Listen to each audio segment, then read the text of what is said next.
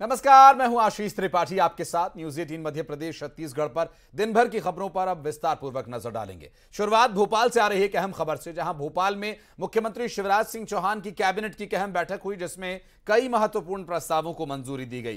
Cabinet की बैठक में अतिथि विद्वानों और अतिथि शिक्षकों का मानदेय बढ़ाने पर मुहर लगा दी गई और इसके अलावा आंगनबाड़ी सहायिकाओं का मानदेय पाँच हज़ार दो सौ रुपए से बढ़ाकर छह हज़ार पाँच सौ रुपए और मिनी आंगनबाड़ी कार्यकर्ताओं को अतिरिक्त मानदेय छह हज़ार पाँच सौ रुपए से बढ़ाकर सात हज़ार दो सौ रुपए कर दिया गया। किसानों के हित में फैसला लेते हुए बिजली की उपलब्धता को लेकर किसान मित्र योजना की शुरुआत होगी और योजना में किसानों को 200 मीटर की दूरी तक के लिए नए कनेक्शंस दिए जाएँगे और साथ ही आपको बता दें, ये योजना किसी एक किसान के लिए नहीं, बल्कि किसानों के समूह के लिए प्रभावी होगी। इसके अलावा अब प्रदेश की जनता को 24 घंटे के भीतर बिल्डिंग बनाने की परमिशन मिलेगी। वहीं मुख्यमंत्री लाडली बहना योजना 2023 के तहत महिलाओं को मुख्यमंत्री आवासीय योजना का लाभ देने का फैसला हुआ।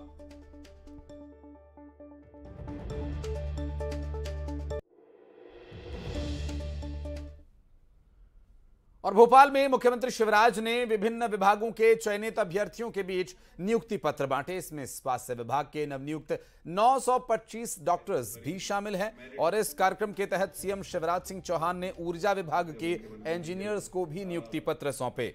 साथ ही कृषि विभाग के सहायक संचालक, किसान कल्याण और कृषि विकास अधिकारी, ग्रामीण कृषि विस्तार अधिकारी पशुपालन और डेयरी विभाग के सहायक पशु चिकित्सा क्षेत्र अधिकारियों को भी नियुक्ति पत्र दिए। जनता भगवान के बाद अगर दूसरा दर्जा किसी को देती है तो वो डॉक्टर को देती है। जान बचाने वाला भगवान इसलिए आपका काम केवल नौकरी नहीं है। केवल प्रोफेसर नहीं है। ये जनता की ज़िंदगी बचाने का अभियान है, लोगों को स्वस्थ रखने का अभियान है। और इसलिए आपका दर्जा सचमुच को बहुत अलग है। उसने मैंने क्वेश्चन भी की। डॉक्टर्स का जो हमारा कैडर था, कई दिनों से उनकी कुछ जस्टिफाइड मांगे थे। पिछले दिनों ही हमने उनको पूरी की। इसलिए कि आप निश्चिंत रह के जनता की बेहतर सेवा कर। और बड़ी खबर दुर्ग से, जहाँ शुक्रवार को भिलाई के पावर हाउस इलाके में हुई एक शख्स की हत्या का खुलासा पुलिस ने किया। पुलिस की जाँच में यह बात सामने आई कि मृतक शख्स फ़िल्म गदर में बोले गए सनी देओल के डायलॉग को सुनकर बेहद उत्साहित हो गया और फ़िल्म के डायलॉग को तेज आवाज़ में बोलने भी लगा। और इस बात से मौके पर मौजूद कुछ लोगों ने उत्तेजित होकर उसके साथ मारपीट शुरू कर दी। जब तक लोग उसे छुड़ाते, तब तक वहाँ मौजूद आरोपियों ने पीट पीट कर उसकी हत्या कर दी थी। पुलिस ने हत्या में शामिल पाँच लोगों को गिरफ़्तार भी कर लिया है। बाकी अन्य की तलाश की जा रही है।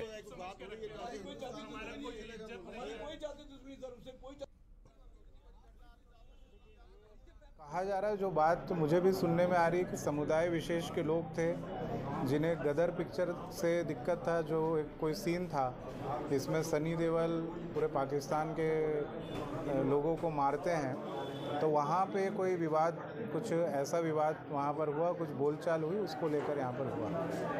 लड़ाई हुई थी जिस पर से जो मृतक है आ, उसको आ, कुछ अज्ञात युवकों के द्वारा हाथ मुक्का से मारपीट किया गया था। तत्कालिक तौर पर जाहिरा चोट ना होने के कारण हॉस्पिटल नहीं ले जाया गया। देर रात हॉस्पिटल ले जाया गया जब इनकी तबीयत खराब हुई और सुबह चार बजे करीब इनकी मौत हो गई। उस पर से इनके परिजन और आक्रोशित मोहल्ले मोहल्लेवासी थाने का घेराव कर दिए थे और अभी चक्का जाम भी कर दिए थे। दस पंद्रह मिनट चक्का जाम करने के पश्चात हमारी समझाइश पर वो अभी हटे हुए हैं।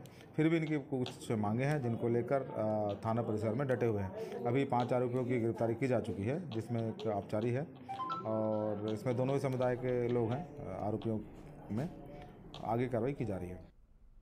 और बीजेपी की परिवर्तन यात्रा का जशपुर में आज दूसरा दिन रहा। परिवर्तन यात्रा कुनकुरी पहुँची, जहाँ पारंपरिक तरीके से यात्रा का जोरदार स्वागत किया गया। कुनकुरी के खेल मैदान में हज़ारों की संख्या में पहुँचे बीजेपी के कार्यकर्ताओं ने विशाल आम सभा के ज़रिए छत्तीसगढ़ सरकार को उखाड़ फेंकने का संकल्प फिर से दोहराया।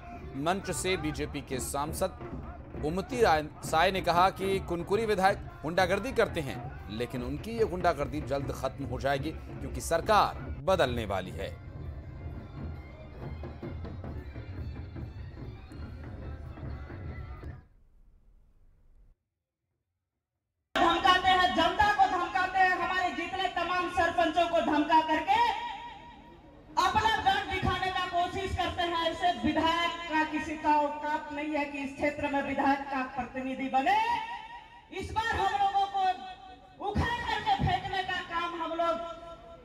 कांग्रेस की विधायक, कांग्रेस की सरकार कांग्रेस में बैठे हुए, शासन में बैठे हुए विधायक और मंत्री को उखाड़ के फेंकने का काम, यही धरती, कुनकुरी की धरती से शुरुआत होगा।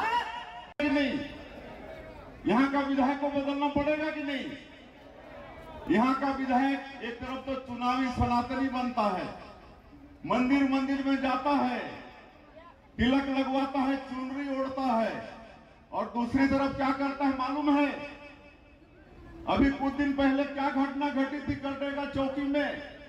डूमर बहार में हमारे यादव भाइयों को जन्माष्टमी मनाने से इनके गुंडे रोकते हैं कि हमारे यहाँ कांग्रेस की सरकार है, हमारा विधायक यूडी मिंग है, तुम लोग कैसे जन्माष्टमी मनाते हम देखते हैं।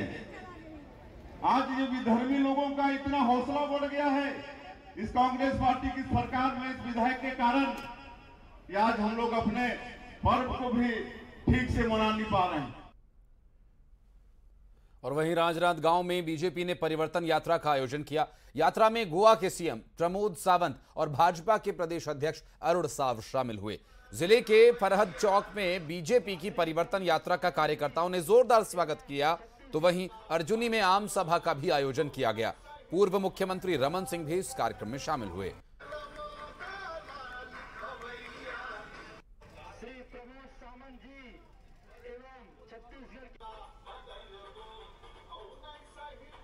रायपुर में बीजेपी घोषणा पत्र समिति की बैठक हुई। बैठक के बाद बीजेपी के सांसद और घोषणा पत्र समिति के संयोजक ने कहा कि एक लाख पैंतीस हज़ार से ज़्यादा सुझाव पार्टी को मिले हैं। सभी सुझावों पर हम गंभीरता से विचार कर रहे हैं।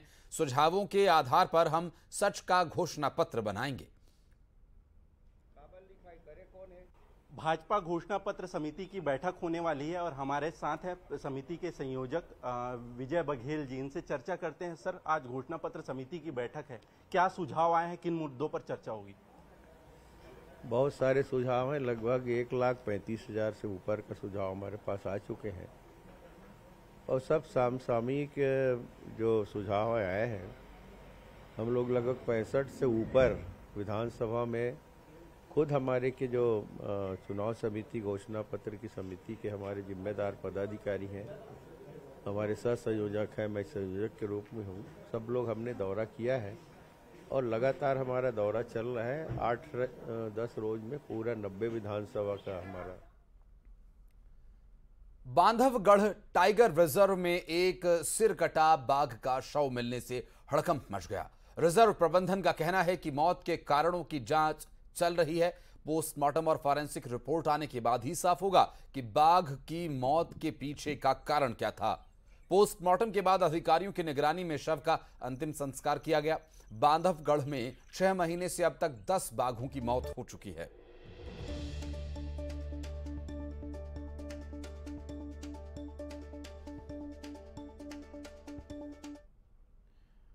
और बड़वानी में दो लोगों की मौत हो गई। दरअसल गाँव खाली करने के दौरान यह हादसा हुआ। दो लोगों की मौत का, दो की मौत के बाद अन्य घायलों की तलाश की जा रही है। नर्मदा का जलस्तर बढ़ने पर गाँव खाली करवाया जा रहा था और ये डूब क्षेत्र से यात्री लेकर आ रही बस रपट पर पलट गई और दो लोगों के शव बरामद किए गए हैं। पंद्रह से सत्रह यात्री बस में सवार थे और यहाँ पर इस हादसे के बाद दो लोगों की मौत की जानकारी मिल रही है। फ़िलहाल आपको बता दें कि नर्मदा का जलस्तर बढ़ने की वजह से इन्हें यहाँ से निकालने के लिए एक बस के माध्यम से ले जाया जा रहा था। और खरगोन से बड़ी खबर, तेज बारिश से पहाड़ी का एक हिस्सा गिर गया। दरअसल जामगेट पर पहाड़ी का एक हिस्सा गिर जाने से रास्ता बंद हो गया। लैंडस्लाइड से हड़कंप मचा हुआ है। इंदौर के बहुमंडलेश्वर का जाम गेट मार्ग होते हुए बंद हो गया और घाट से आना जाना भी खतरनाक है। दरअसल लोगों से जाम गेट से इंदौर नहीं आने की भी अपील की जा रही है। आपको बता दें ये जाम गेट पर पहाड़ी का एक हिस्सा गिर जाने की वजह से रास्ता बंद हो गया है। होते हुए जाने वाले ये जाम गेट वाला रोड बंद हो गया है। महू मटनेश्वर मार्ग बंद हो गया एमपी में आफत की बारिश जारी है, जिससे नदी नाले उफान पर हैं और कई जिलों में बाढ़ जैसे हालात बन गए हैं, जिससे जनजीवन अस्त व्यस्त हो गया है।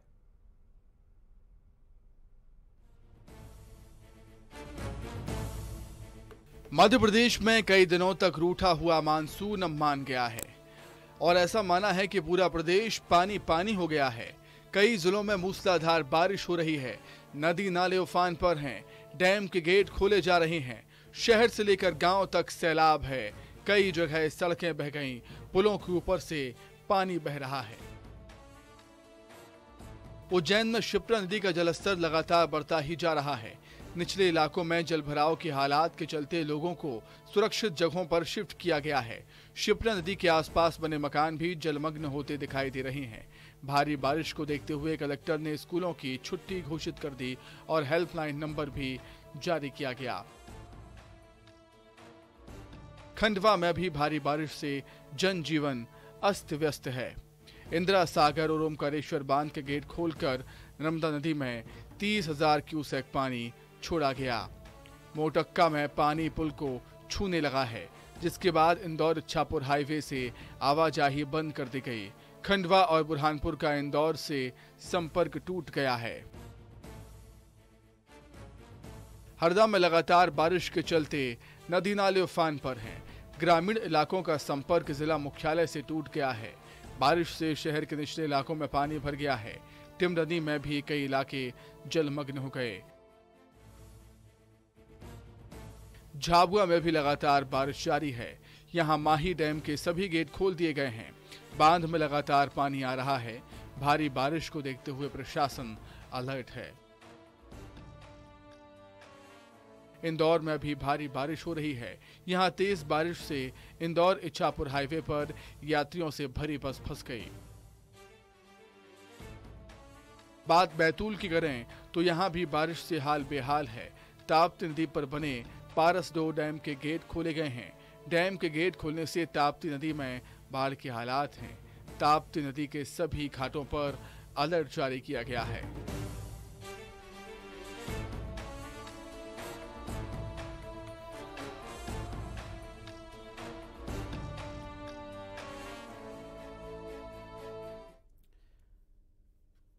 चलिए, बारिश की कुछ और तस्वीरें आपको दिखाते हैं। इंदौर में बारिश का अलर्ट जारी है। यहाँ पर तेज बारिश से जनजीवन प्रभावित है और शहर के कई इलाकों में जल स्तर लगातार बढ़ता जा रहा है और जल स्तर बढ़ने की वजह से लोगों को घर छोड़ना पड़ रहा है।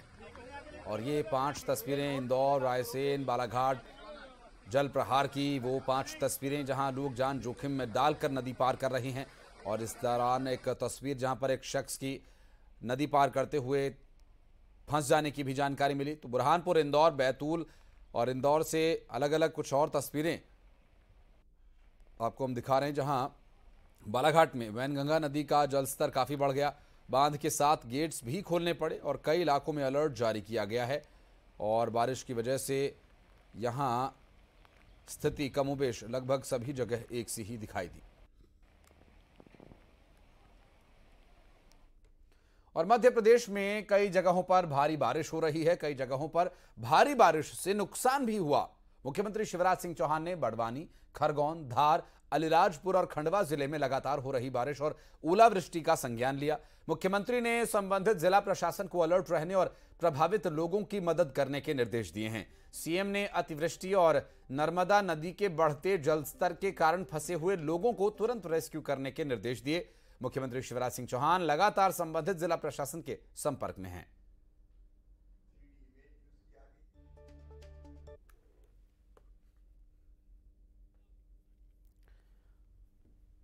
और खबरों का सिलसिला आगे भी जारी रहेगा। इसी के साथ इस बुलेटिन में फ़िलहाल इतना ही। नमस्कार।